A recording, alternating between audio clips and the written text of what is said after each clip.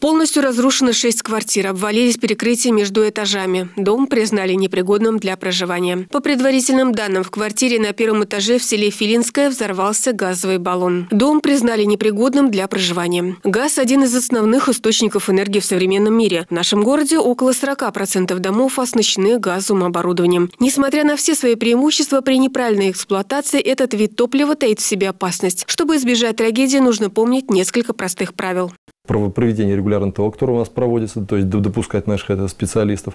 Потом, естественно, не пользоваться неисправным оборудованием, то есть плита вы купили, то есть это ваша плита, это будет уже ваша собственность. То есть вы за ней уже будете, как говорится, это не муниципально, то есть вам она будет ставить за ваш счет.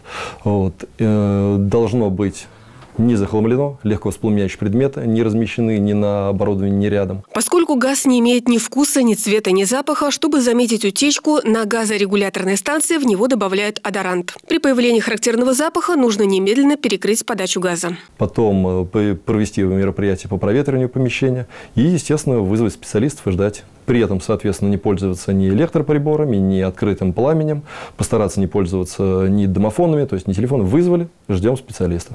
При появлении запаха в подъезде нужно также вызвать специалистов, предупредить соседей, оставить открытой дверь в подъезде, не пользоваться открытым огнем и электроприборами. Утечки газа происходят в основном из-за человеческого фактора. То есть кто-то забыл на плите что-то убежало, залило комфорку, пошла утечка.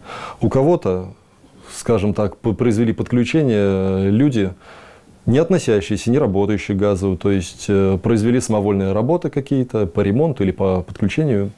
Специалисты Саров ГАЗ призывают горожан быть бдительными и при появлении запаха газа сразу вызывать аварийную бригаду, которая оперативно и своевременно ликвидирует взрывоопасную ситуацию. Все заявки принимают круглосуточно по телефонам 04 104 112 или 7 51 33.